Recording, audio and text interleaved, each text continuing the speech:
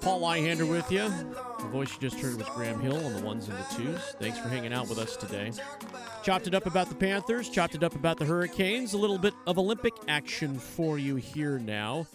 Today's the five ring circus as we start all the medal rounds and all the eliminations today. Germany eliminated Greece this morning in men's basketball. It'll be Team USA hoops tonight. I guess it's sort of in prime time. It's kind of the last thing that'll happen because all the preliminary games were not played in Paris, and now they've all they brought back the final eight teams in the in the medal rounds, so to speak, back to Paris for these championship rounds. So there'll be, I'm sure, more pictures of celebrities in attendance. USA favored by 26 and a half over Brazil. USA is yet to cover, by the way, in any of their first three games leading to the medal rounds. Not sure that they're going to cover again. Brazil, though, a very upstart basketball team. They are the uh, they're kind of if there's a if there's a pseudo underdog story, it's probably the Brazilian team. They're like one of the best, or they're one of the hottest shooting teams right now in all the Olympics. From what I was reading about in the preview. Yeah, they don't miss.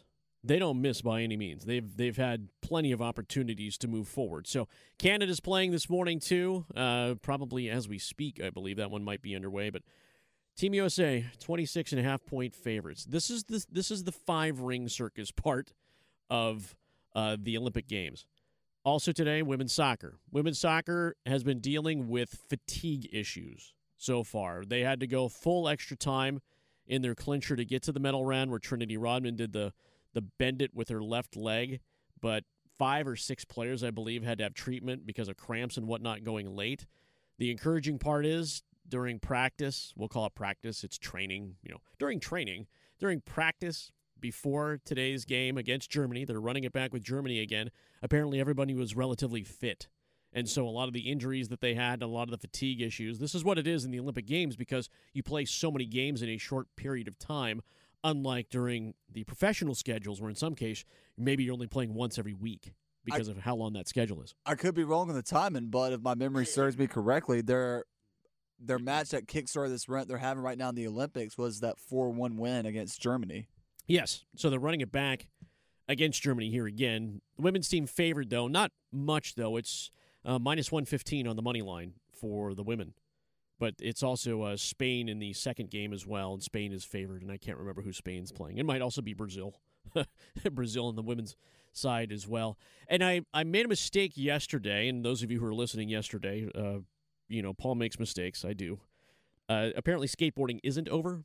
There is still women's skateboarding today. The finals are this afternoon, so there will be women's skateboarding. But it is the five ring circus that is the Olympic Games. So much that the gymnasts say they should have had more of a circus when they were going through their individual events. So Simone Biles, following the big monster run that she had, 11 medals overall, second most decorated gymnast in Olympic history. Uh, Simone Biles talked about the experience that she had at the games and certainly a lot more confidence that she had and felt a lot better as opposed to her experience in Tokyo. You smiled a lot yeah. this week. Like there's pressure. This is the Olympic Games. Yeah, absolutely. There's, there's pressure. In watching you, the other games, mm-hmm. it felt like your smile was showing a different joy yeah. in these games. Why? Because I'm a lot happier and I chose to do this. So at the end of the day, whatever happens, happens. But I'm in a good spot mentally and physically. So you can't take that away from me. So whenever I'm out there, it's just like pure joy. Can't believe I'm out there again competing, representing my country, just having fun, doing what I love. NBC Olympics with uh, Mike Tirico there and Simone Biles. She had more joy, right? Except during the balance beam portion of things. If you might recall, over the weekend on uh, this was on Sun or this was yes Sunday. Uh, the balance beam individual uh, competition for the women did not go so well for the Americans, where everybody fell except for one. I believe the Italian Alice uh, Darini D'Enrico. I can't remember her name. Not a name that I'm I'm being asked to recall right away, except for right now, and I will never remember again. Uh, Simone Biles slipped off the balance beam, and Suni Lee also slipped off the balance beam, and everyone was wondering why everyone was falling. And there were very conservative performances on the balance beam. Well, what they're blaming, or what they're saying is, they weren't used to the quiet that during their performances during the team event and the all around competitions, there was always music playing until it came down to the individual events in which the arena was incredibly silent. Interesting. And so there was no clapping, there was no cheering, there were no megaphones or vuvuzelas or just just beats playing in the background. And apparently it was so jarring to a lot of the athletes there was they couldn't understand why and some of the competitors actually asked the organizers of the gymnastics competition and the individual events to play any music that they could find. It's like someone left their iPod at home or couldn't couldn't uh, lost their iTunes password and said, "Oh, sorry, you've reached too many attempts, you've been locked out." And they're like, "Ah, whatever, we'll just go with silence." Apparently, it was the silence that was drawn because normally at events, crowds are much more just vibrant, unlike like golf, right? Apparently, golf at the Olympics was full Happy Gilmore. Yeah. But at the gymnastics, they were saying that they didn't want that library atmosphere. They were they were talking amongst themselves, and they were saying their coaches could hear them talk while they were sitting next to their uh, apparatus because it was so quiet in the building, and it was because the fans just weren't kind of used to like, should we talk? Should we murmur? Should we say something? And it was causing that kind of reaction. So it was just kind of chucking them off. They felt like they were at. They felt like they should have been at the golf match. Yeah, I suppose so. They were just like, where they were saying, where was the music? The the I believe the phrase was awkward and weird. just straight awkward and weird. And by the way, there's a story that y'all need to be watching. And this is for more information as opposed to opinion, right? Team USA has a woman who is wrestling, and it'll be on Thursday. Oh wait, she already she wrest. Yeah, it'll be on Thursday. Her name is Amit Elor. She is from uh, San Jose, California. Parents immigrated from Israel. She's 20 years old. Apparently, hasn't lost in an international match in four years. Hmm. Hasn't lost at all. So much that uh, there are there, the, her competitors actually get called for stalling because they don't want to get pinned. They they get called for apparently passive movement, something along those lines, to where they just don't want to wrestle her at that point anymore. They just they just kind of stand They back. throw in the towel. Yeah, they don't they don't actually fight her. So she's an Olympic final. She will get a medal, but she's that dominant. And she wrestles in a weight class that wasn't available to her. She had to cut weight. Again, her name is Amit Elor. She's 20 years old. The Olympics only have six weights. In international competition, apparently, she had 10. So she had to cut eight pounds just to make the weight that she's wrestling at. And she never loses. But uh, her dad threw shot put in college. Her brothers played football or wrestled. And apparently it was so unfair that she was beating up the boys that the boys stopped wrestling her because they couldn't take her. Here's the bit. Walked into the Olympics, her score. This is uh, think of the most dominant wrestler you can think of. Like professional wrestler you know never loses, okay? Just picture that person. Now, roll it all up into a tight little ball and dump it into Amit Elor who in her last 37 matches has won by an aggregate score. This is her total score 322 to 16. If you know wrestling, and I was fortunate enough to be a wrestling sports information director back in the day, that is domination at its highest level. The last time she met the world champion, she pinned her in 40 seconds. Amit Elor going for the gold on Thursday. All right, let's get you a medal count here. Listen to 99.9 The Fan for coverage of the Summer Games from France. Here is the current medal count presented by North Carolina FC, the United States of America, Team USA, with 79 total medals. They have 21 gold, 30 silver, and 28 in bronze. The People's Republic of China, second in medals with 53. They also have 21 gold medals. And the host country, France, with 13 gold medals and 48 total overall. All right, Summer Games updates on 99.9 The Fan throughout the day are brought to you by North Carolina FC. Listen for those reports, and you can also get your tickets today at northcarolinafc.com. All right, coming up next, how many insiders are already giving up on Drake Maye as a professional? It's next up on 99.9 The Fan.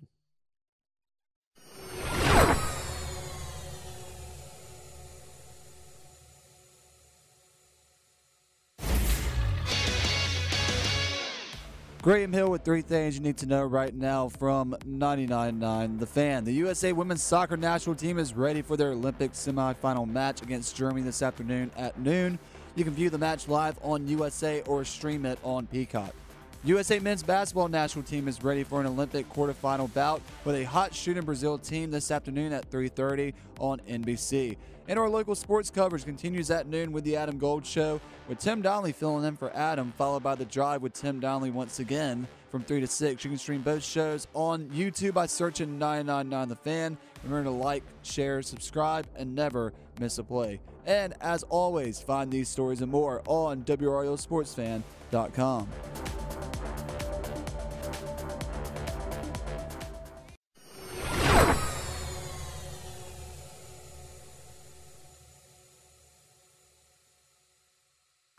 Sports gets ramped up, so to speak. Yeah, we're getting closer to the start of college football season. Just uh, 18 days away for some teams, certainly a handful in the SEC or ACC. Whoa, careful. And uh, the NFL in just two days. Mix 101.5 is where you'll be able to listen to Carolina Panthers this season. Also, simulcast when available on Buzz Sports 620 and 1045 in Durham and 99.9 FM HD2 throughout the entire triangle. So uh, that's where you can find Carolina Panthers games this season. The fan will have lots of NFL primetime, and we are the home of the Super Bowl. So let's just get that out of the way right now. Uh, just some news and notes for you here. Not opinion, but more insight for you. JJ Redick, as we all know, took the head coaching job uh, for the Los Angeles Lakers. They officially announced their coaching staff yesterday, so we do need to say congratulations to a friend of the station, Nate McMillan, Raleigh native, NC State uh, legend. He will be one of JJ's assistants in Los Angeles. Of course, he coached the Atlanta Hawks uh, for a couple seasons, was a coach for the Portland Trailblazers for a while, longtime NBA player. Also making the assistant coaching ranks is former Duke star and former G League Coach of the Year, Lindsey Harding. So lots of uh, connections to the Triangle, connections to Duke as well for J.J. Redick as he gets himself underway in the NBA. Uh, notable, the Chicago White Sox lost to- their 21st game in a row. If you had bet against the White Sox for the last 21 uh, appearances in a Major League ballpark, you should be at least two dollars richer today. I saw where they're tied with like I want to say, and forgive me if I'm getting the year wrong, the 1983 Phillies for the longest losing drought in MLB history. That's crazy. Phillies held it at 23 during that year, Oh. whatever year it was. I just picked up a graphic. You're right. Uh, it was uh, they tied the Orioles with 21 losses. The Phillies at six, 1961. 1961. So Sorry, not that's twen- 1983. 23 for the Phillies. The Orioles they tied in 1988. So they're just chasing the longest losing streak. I can't imagine. And there are very few very few college football programs unless you're a team making the jump from FCS to FBS or you're just truly awful. And there still aren't that many awful college football teams or college basketball teams that put up offers. Can't imagine. And the the MLB season's a long season. I mean, 162 games. That is a grind. yeah, But to go an eighth of the season, this is an eighth of the season without seeing a single victory, without having whatever song that you play at the end of the game or whatever giveaway you do at the gate when people walk out.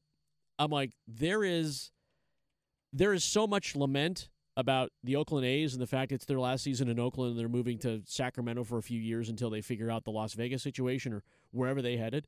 But the White Sox are just plain awful. that that's the long ride back on the red line in uh, in Southside Chicago. 27 and 88 overall record right now for the White Sox.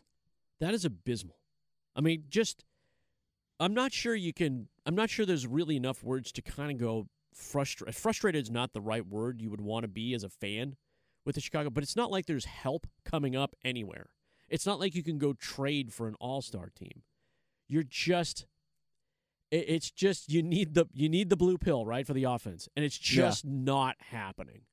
You need some sort of jolt in pitching, and it's just not happening. You need a Paul Skenes that Pittsburgh got that allowed them to take a big jump. There's nobody like that within the White Sox organization. It's very clear. I, w- I was thinking of the Phillies losing the 1983 uh, or the 1983 loss in the World Series. That's where that was coming from. But yeah, I, imagine imagine just being a White Sox fan right now. I, am not sure that's a. I'm not sure that's possible. And this 21 losses now. They lost 14 earlier in the season, a 14 game losing streak. So you've endured two of the longest streaks in Major League Baseball history when it comes to losses. And there's still another two months of the season to be played. Like, there's nothing you can do at this point. I mean, I, they might hit 100 losses before it's all said and done. Oh, they'll get 100. That's 100. No, no doubt about it. They're they're 27 and 88. Like 12 losses in the in the course of the next two months does not. Mm, yeah, it, it just. You talk about we talk about expansion of Major League Baseball. Like like it's this thing that gets thrown around around here and I get it and I love the idea that we want to bring a Major League Baseball team here and we want to trumpet those headlines and whatnot.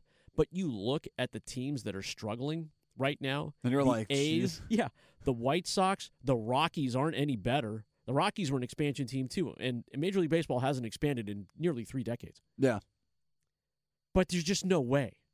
There's not enough talent.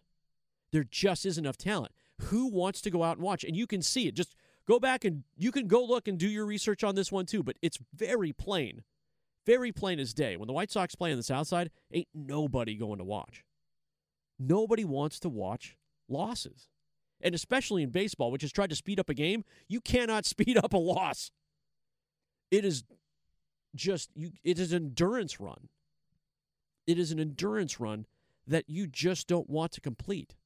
The beer doesn't taste any better, the peanuts don't get any fresher, and the hot dogs just seem limp coming off the grill. Nothing salvages that. Nothing can salvage that at all. All right. For some reason, pundits are giving up on Drake Maye already. That he is going into a situation in New England, unlike what you call the athletic Jayden Daniels who makes plays, and Caleb Williams, whose freakish nature at quarterback are off the charts. The two quarterbacks that were chosen ahead of Drake Maye. But if you go to the reports coming out of Boston and you see the social pressure that comes out of it, and again, it doesn't paint a complete picture. But the thought is is that Drake Maye, former Carolina quarterback, is already being given an afterthought status. That it's one of those ideas that was great when we executed it and made him a top pick, but now all of a sudden we're all thinking about it and we're going, this wasn't the right way to go. And I'm not sure that the New England Patriots can afford to go to second guess their choice already. In that there's this run back where Jacoby Brissett, who I've seen start in a number of locations in person in Indianapolis and in Miami against teams on the road, that this guy's never going to give up the job. And I'm like, why would you draft a quarterback that high and give up on him before he started? I don't see Drake Maye as the second coming of Trey Lance. No. This is where we're all ready to throw the baby out with the bathwater before anything is started, before the definition, before any words have been written. You're looking at a guy they call like this enigma, right? He'll throw bombs and it looks great, and then the next thing you see is like, ah, he just underthrew his receiver or zipped one past a guy.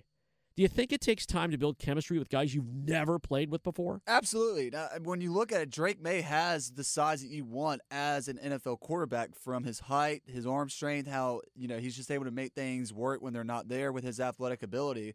And it just sounds like right now he's being microanalyzed on everything from his early work, from his early footwork to every every pass in the mini camps and now his training camp performances. I mean, it just it just takes time. He just got there.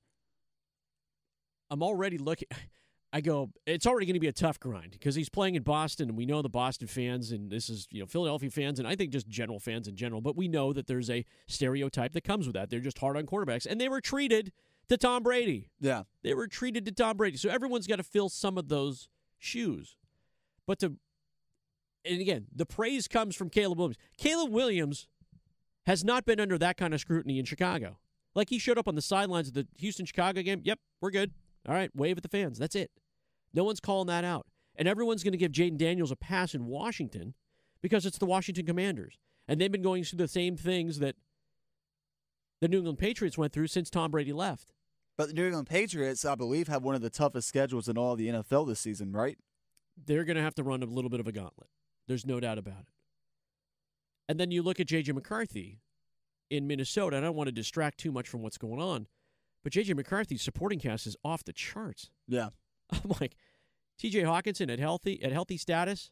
I got Justin Jefferson to throw the ball to, who catches everything, one handed, two handed, no handed. JJ McCarthy's been set up for success just with the franchise he's been he's been put in. Well, you hope that the rumors of the Brandon Aiyuk deal to New England could actually happen. So maybe that it takes some of the heat off of Drake Maye, whether or not he's good enough before he's taken an actual snap. Now, if he comes out and grounds eight balls in the opener against the Carolina Panthers, yeah, then maybe we have something to talk about. But I'm like, man, giving up on him before he's even taken a snap, having regrets about drafting him number three because of one pass in a non contact drill? Stop it. Stop it. You're gonna go you're gonna go down that same path that Bryce Young went that you're gonna go down with Bryce Young. You don't want to do that. Just too early. It's just way too early. Overanalyzing, just paralysis by analysis. That's what we're dealing with.